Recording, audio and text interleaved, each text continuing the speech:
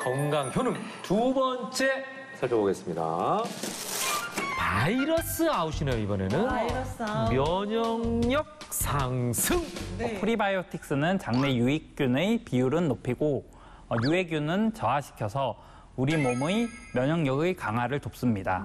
이와 관련해서 비만 쥐에게 프리바이오틱스 10%가 함유된 사료를 5주 동안 섭취하게 한 결과 유익균이 증가하고 장의 기능이 향상되었다는 연구 보고가 있습니다. 네. 네, 오래오래 건강하게 살 수 있는 것 아마 모든 분들, 많은 분들의 꿈일 텐데요. 그렇죠. 네. 근데 식약처에서는 장수마을에 사는 사람들과 도시에 사는 40대 이상의 성인 장 건강을 비교해 봤습니다. 그랬더니 장수마을의 사람들은 장내 유산균의 비율이 세배에서 다섯 배 이상 높았고요. 그 락토바실러스와 같은 유익균은 최대 다섯 배가 높았다라고 얘기를 하게 됩니다. 이유가 뭘까? 네. 궁금하다. 네. 어, 역시 건강한 장수 비결은 네. 장 건강에 그렇죠. 네, 있었- 비밀이 네. 있네요. 유익균은 높이고 네. 유해균은 줄이고 네. 네, 그게 핵심이네요. 그렇습니다. 어, 네.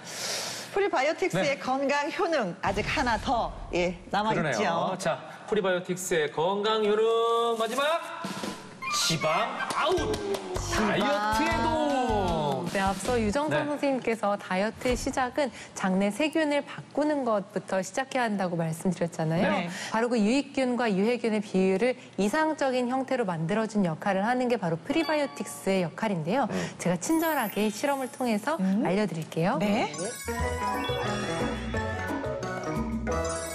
빨간색이 우리 장 속 유익균이고 검은색이 비만을 일으키는 유해균이라고 가정을 해볼게요. 이쪽은 prebiotics를 섭취한 상태, 그리고 이쪽은 prebiotics를 섭취하지 않은 상태입니다. 먼저 prebiotics를 섭취한 장을 보시면요. 네.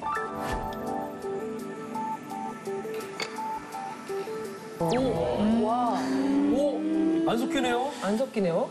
이렇게 유익균과 유해균의 비율이 계속 잘 유지가 되는데요. 네. 반대의 경우는 어떨까요? 똑같이 서- 안 섞이지 않을까요? 아, 바로 섞여서 흔적을 찾을 수가 없네요. 붉은색을. 네, 이렇게 장내 균형이 순식간에 무너져 버립니다. 음,